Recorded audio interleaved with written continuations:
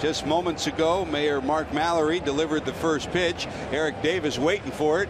ED had to almost go to the alley before he could come up with it. Uh, the mayor wanted a redo, didn't get it though, Chris. That's one of the worst opening pitches I've ever seen. Man, bring me back the days of John Browdy. Eric Davis says, "Give me, give me that baseball. Give me that baseball." Well, our own John Browdy is off the hook.